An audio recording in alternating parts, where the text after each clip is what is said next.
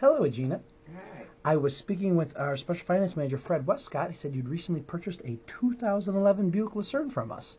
Just had a couple quick questions about your journey. The first of which, how did you find out about Cawood Honda? Through the well page. Through our website? Mm-hmm. And from transitioning from our website into our store, how was that for you? Oh, great. It was really fantastic. Nice and simple. Nice, yes. Getting information from our service personnel or in, even any of our sales personnel, how was that for you? Oh, um, Fred was awesome. He was a whiz in getting us put place in the car that we've been looking for. I mean, he's great. He's really great. That's awesome. And your dealership experience overall, our facilities, your first impressions of the vehicle you bought, things like that. How did we do for you? You did great. Fantastic. Pleased both of us. You was really pleased with it. That is just awesome.